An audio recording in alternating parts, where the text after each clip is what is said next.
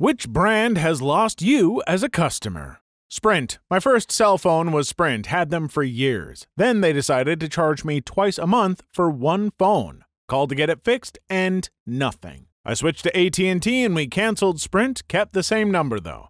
Sprint kept charging me after canceling and tried to sue me for not paying, even though I had record of the cancellation.